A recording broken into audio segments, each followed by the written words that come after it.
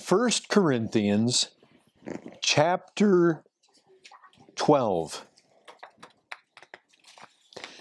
We have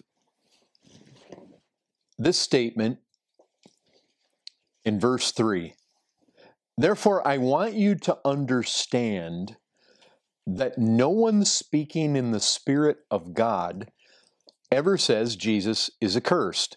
And no one can say Jesus is Lord except in the Holy Spirit. Now, this, this question has come up. This question has been sent to the uh, Ask Pastor Tim questions, and I think that this is a good one to deal with. I, I think it gets us thinking. So let me ask you this.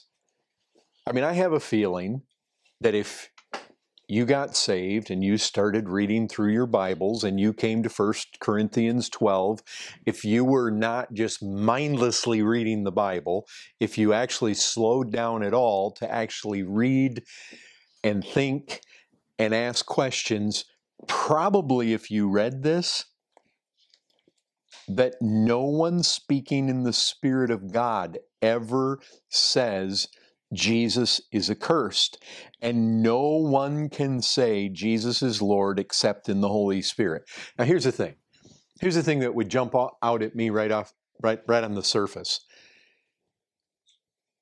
It sounds like it's saying that no one can say Jesus is Lord unless what's true of you and your relationship to the Spirit. That is Lord in your life. Yeah, I mean, it, it would apparently seem that you must be a possessor of the Spirit, right? That the Spirit must dwell within you.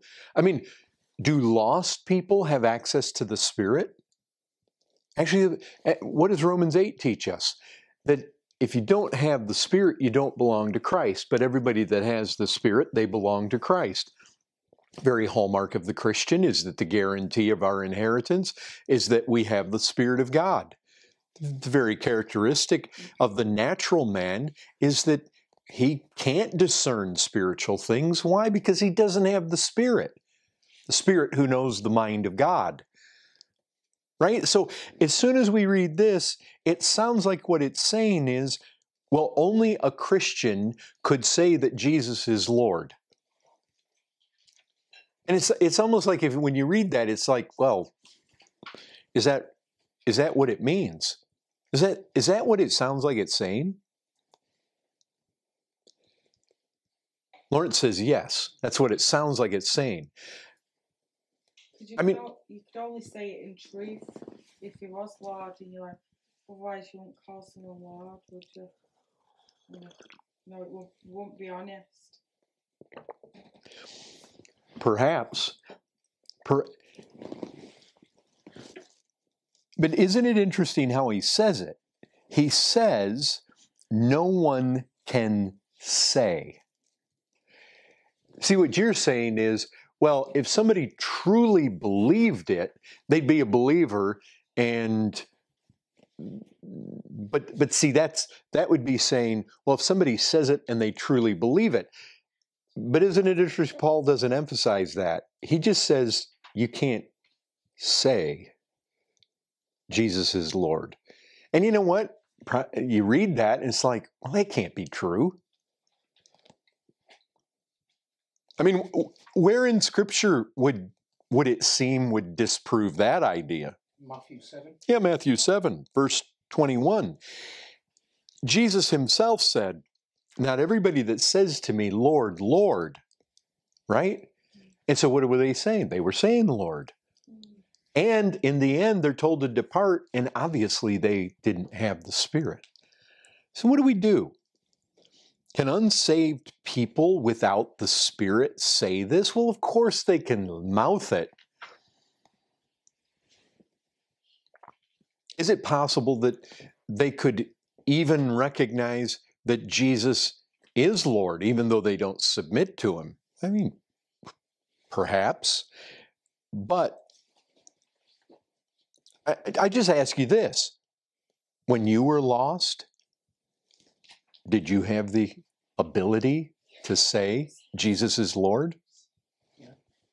Yeah, you, you could mouth the words. That's that's for certain. So, and, and the thing is, it seems so absolute, right?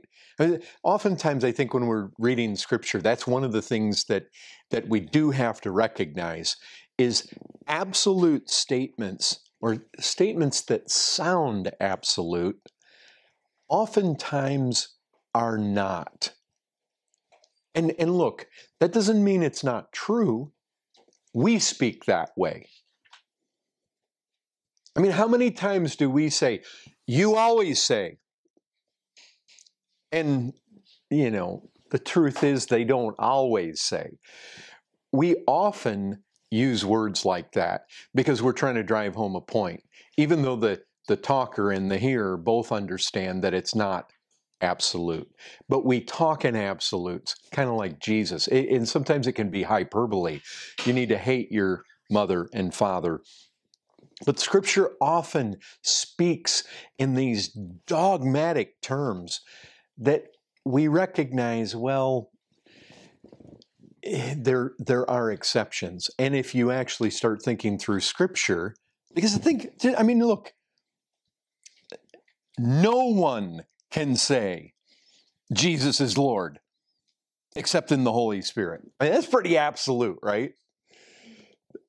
But, but, what we have to do is we have to we have to ask questions. Can you think about something Jesus said that sounded really absolute, but if you really start thinking, you can probably think of exceptions? Anyway, we just made a slight adjustment so that we could hear you, Sonny. So, Oh, right, sorry. I That was a bit like hyperbole, isn't it? yeah, the, the thing the thing is, there Jesus is speaking distinctly hyperbolically. But can you think of somewhere where it just it, it seems? I, think swearing oaths is is probably something that if we look at very closely, you can probably find in Scripture where godly people do use oaths even in the New Testament, where it's even something that God did, God swore an oath. And eh, I think that oftentimes what we have to do is consider the context. How were the Jews in Jesus' day using oaths? Well, they were they were very flippantly swearing about this and swearing on the the head of this or swearing by the the money that was being given at the altar. They were doing all sorts of things. And Jesus Jesus comes down on that in very dogmatic terms. Um, when Jesus says, let me give you another example. When Jesus says, don't resist evil. Now, can you think where, if, did Jesus teach that if somebody asks you for something that you should give it? Does he say it unqualified? Like, wow, it sounds like anything somebody asks me for, I should give. Well, even even Christ himself, even people demanded to see a sign from Christ, and he didn't show it. Exactly. I mean, see, I think that this is these are perfect examples where Jesus says something, but then even he didn't give everything to everybody who wanted anything. And and I think if we start thinking, well, if somebody walks in and they want to take my house, what if somebody walks in and they want to take my children? Should I let them? Well, if you take Jesus in an absolute sense, it seems like it. And I don't know if you're aware, but the Amish in the United States, they basically have that mindset. And so if somebody walked into their house and was going to rape their wife or steal their furniture or burn their house down, they basically have a mindset of non resistance, and that I, which I think is absolutely crazy. So, anyway, what, what the point I'm making is oftentimes, and I think if you're if you pay close attention to Scripture, I think you have to wrestle when you get terms that seem very dogmatic. Like you really have to start asking, well, in the context, should I take this in an, in the most absolute sense, or is there a context here that seems to be indicating uh, you know, maybe there's there's some kind of excess or there's some kind of sin that was prevalent in Jesus' day that he's really going after. And in fact, what is Paul addressing? You always want to look at the context. And so let's look at it. Look at look at verse 1. Now concerning spiritual gifts. Okay, that's key. Concerning spiritual gifts. Why is that key? Well, it's key for this reason. If you look at those words, just, just the word concerning, First Corinthians is interesting because that word comes up more than in any of other epistles that Paul wrote. Just jump back to chapter 7. I want you to see something. This, it, this actually shows up in chapter 7 twice, in chapter 8, chapter 16 twice, shows up here in chapter 12. But I want you to see the first six, remember this, the first six chapters of First Corinthians, you know what they're about? Chloe's people came to Paul. Paul was in Ephesus, and they said, Paul, there's problems at Corinth. The people are messed up. They're suing each other, there's divisions there. And so, you know what he does for six chapters? He deals with those problems that were brought to him. But you know what else it seems like Chloe, Chloe's people did? They took questions to him from the church at Corinth. And look at this. Look at verse 7. Now, concerning the matters about which you wrote. And see, so everywhere through here, look at verse 25. Now, concerning the betrothed. And if, if we keep going through here, look at chapter 8, verse 1. Now, concerning food offered to idols. You see, what he's doing is he's it concerns the matters about which they wrote. They asked him questions. And you can see that in 7 1. Here's the question they wrote. Here's what they wrote to him It's good for a man not to have sexual relations with a woman. That's not what Paul's saying. That's what they basically had written to him, that that's the position they had come to. And he says, well, hold on, because of temptation to sexual immorality, each man should have his own wife and each woman her own husband, and they should be giving themselves to each other all the time. And so basically, he's answering. And in his answers, he's often correcting misconceptions on their part. And so that's what's happening here. Now look at 12. Now, concerning spiritual gifts, brothers, see, they had written to him about the spiritual gifts. This is key. What is 1 Corinthians 12, 13, and 14 most well known for? What do you have in 1 Corinthians 12, 13, and 14 more than you have anywhere else in the, all the Bible? The, the gifts in the church.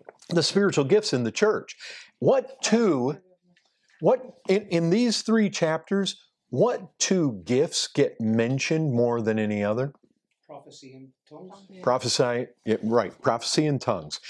They both are mentioned upwards of 20, 21 times. That's a lot.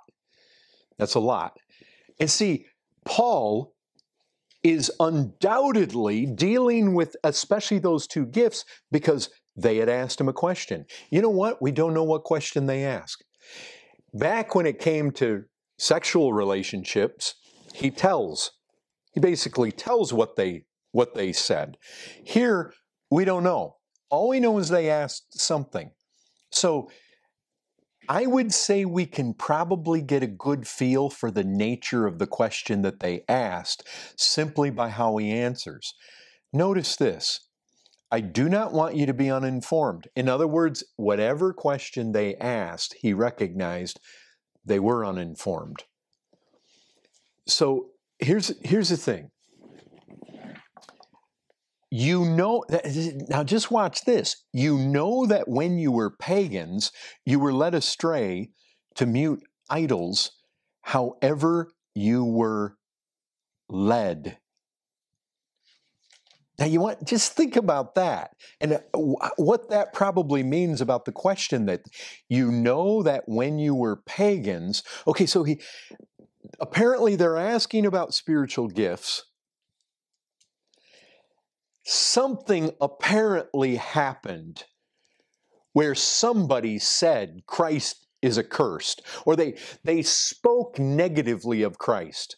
You know, saying Jesus is accursed is just a very concise way to basically include anything negative that could be said about Christ. But this isn't in a vacuum. This isn't what the guy down the street can do. They're asking about spiritual gifts. Something must have happened inside one of their meetings, and something, especially with regards to prophesying or tongues, something must have been prophesied or something was spoken in tongues and it did not put Jesus Christ in the greatest light. That seems like what's happened. Now, notice what he says. You know when you were pagans. Now, why is he taking them back to their pagan days? Remember, these are Corinthians, Corinthian Christians, but they had pagan days. What did they do in their pagan days? What did they do? Idol worship. Idol worship. They were involved with idols, the occult, and look, he says this. He says that they were led astray. However, you were led. Do you remember what was said just back like one and a half chapters before this when Paul's talking about the idols? What does he say is behind the idols? Demons. Demons. That's what he says back in chapter 10. Demons are behind the idols. You know what? These were leading spirits. You say leading. Yeah, they led people. They led people somewhere. And that's what Paul's saying. Now, why would he bring that up? Obviously, because he's saying, hey, remember how it was when you were pagans? Supernatural things may have happened then. There were certain leadings, there were certain things, whether people had visions, whether people, you know, people may have had some supposed revelations or prophesyings from their God back then. But he's saying, hey, you need to remember how that happened. He's basically bringing that out. And see, when he says, therefore, I want you to understand, no one speaking in the Spirit of God ever says Jesus is accursed, and no one can say Jesus is Lord except in the Holy Spirit. You recognize what he's saying. He's dealing with spiritual gifts. He's saying, hey, guys, if, if you have somebody prophesying or speaking in tongues, and it's truly the gift from the Spirit, if it's truly be done in the power of the Spirit, if the Spirit is moving you, guess what the Spirit will never do? What will the Spirit never do? Say Jesus is the first. The Spirit will never speak negatively about Christ. Ever. Not ever. In fact, you know what's really key? Well, think about this. What did Jesus say in John 16 that the Spirit would do when He came? Um, judge the world. But what does He say after? What does He say in verse 14? Lead you into all truth. Lead you into truth. Be a comforter. Um, He will glorify me. He will glorify me. You know what the Spirit's business is in this world? To glorify Christ. Now, listen to me. Listen very carefully, everybody. Even right now, we have people who come from charismatic backgrounds or Pentecostal backgrounds who visit the church. That will happen in the future. You know what? Sometimes God is moving these people towards greater amounts of truth. Sometimes they left there and God's moving them. Sometimes God puts people on a journey from, you know, they get some truth in the Pentecostal circles, but God moves them on to more truth. But I'll tell you this we have a responsibility to test the spirits. When you get around people that talk about the Spirit all the time, that is not a good indication that the Spirit is at work. The Spirit did not come to glorify Himself.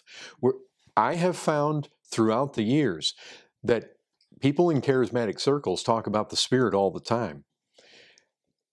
You know, you want to know one of the hallmarks of a genuine church is where Christ is glorified. That is the greatest proof that the Spirit of God is at work. Why? Because He came to glorify Christ. And just listen to this. You probably know these. In First John, this, this, is, this is absolutely essential. First John chapter 3, that chapter 4 rather.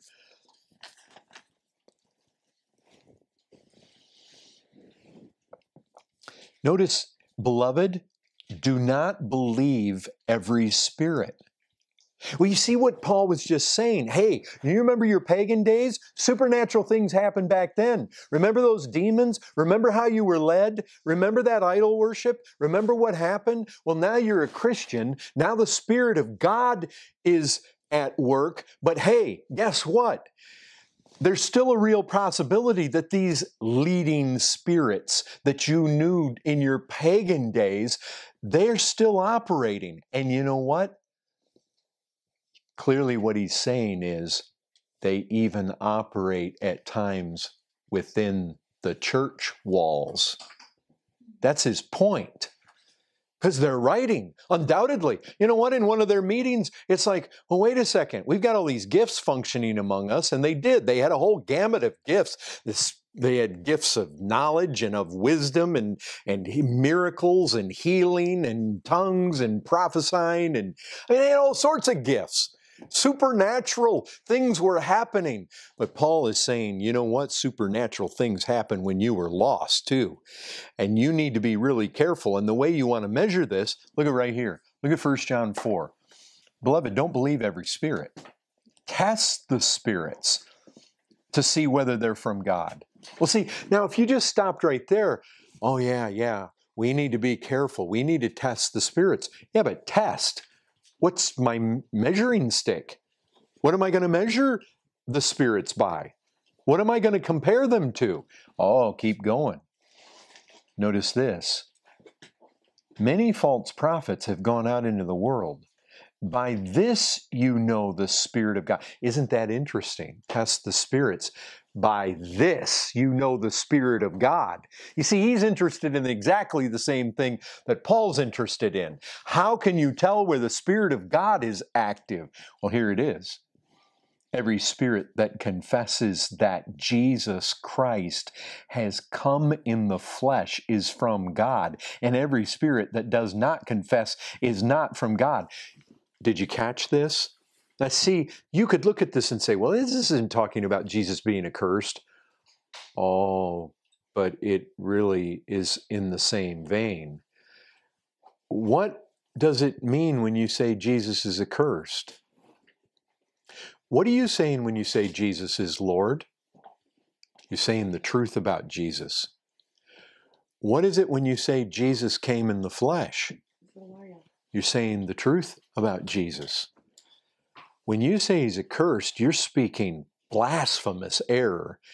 And when you say he didn't come in the flesh, you see what we want to listen for. And, and I'm telling you, this will be practical in our church. All over the years, it's always practical. You can gauge so much. I mean, right down to children making professions in the church. Why? What do, what do you mean? I'm listening. When a child, if you have a seven year old, if you have a 16 year old, and they claim God has saved them, if they're saved, they've been born of the Spirit.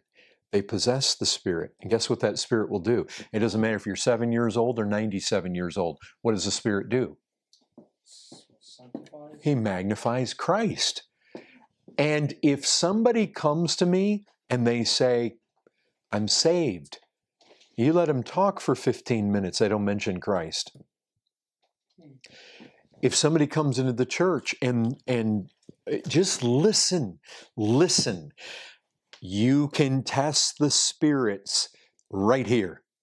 And so, what Paul is actually saying is this He's saying concerning spiritual gifts look, if the Spirit gives a gift of prophesying or is energizing the gift of tongues, He will never move upon somebody to speak negatively of Christ. This is the issue. You know what John MacArthur said? Yeah, I remember him telling a story about meetings where a missionary was observing a man speaking in tongues in the meeting, and he said, That sounds familiar. And so he went and got a friend of his who was a Hebrew scholar and he brought him to the meetings. He said, I want you to hear we have an individual in the church and they speak in tongues, and I think it's a valid tongue, and I think it's Hebrew. And so he brought a Hebrew scholar, and the man was cursing Christ, and nobody knew it.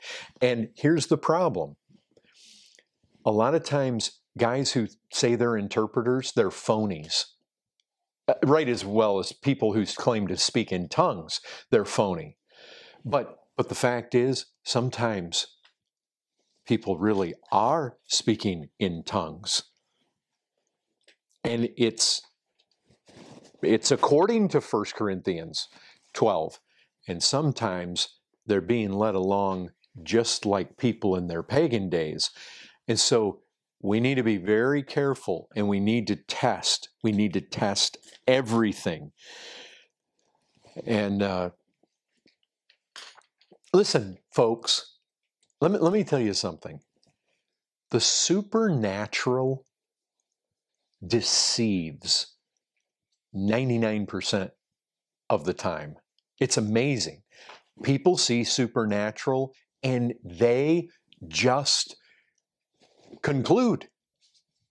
I mean, Jesus even said, Jesus even spoke about so much supernatural that that even even maybe if possible the elect would be deceived. You remember that? The fact is supernatural things deceive people easily. We don't want to be deceived. It doesn't matter if it's supernatural. Be careful. Listen carefully. Because I'll tell you this demonic spirits will never exalt Jesus Christ. Ever. You say, well, what if they what if they did it trying to deceive? Well, that's like Jesus dealing with people who said, "Oh, he casts out demons by by the you know, the chief of the demons." No, Jesus said a kingdom divided against itself won't stand. So they're not going to go around and speak positive things about Jesus Christ. And and only the spirit of God does that. And so that's the issue. That's really what's on the table here. It concerns spiritual gifts. So anything more with that before we move on? That's really helpful. That.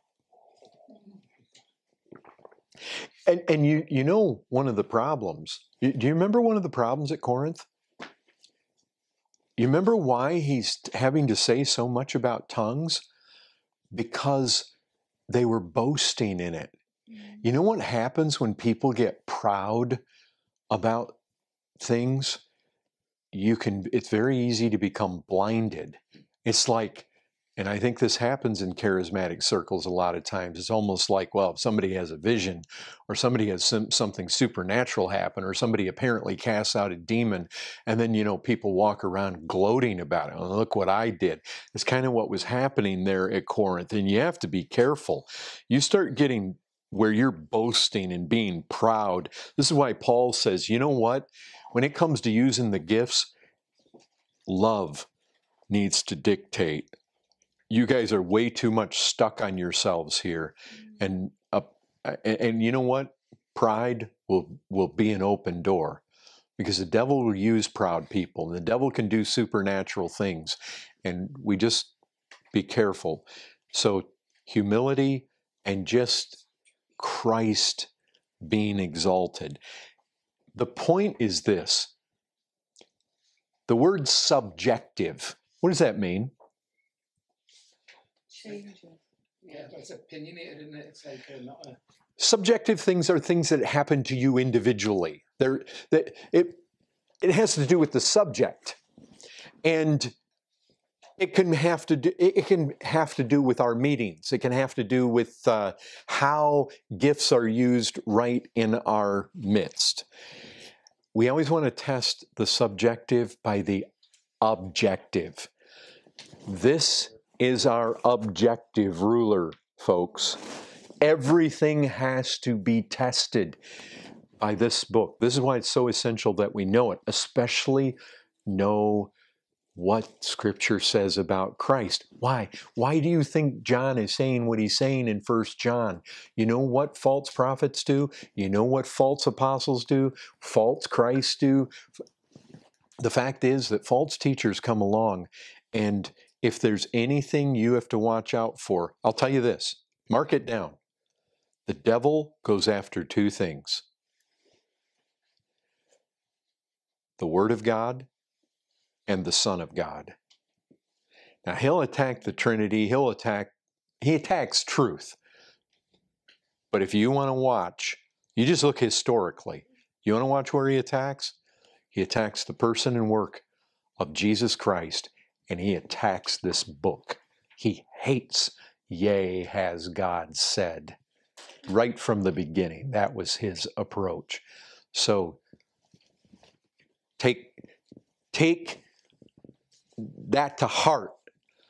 Always test the subjective by the objective. We always have to do that.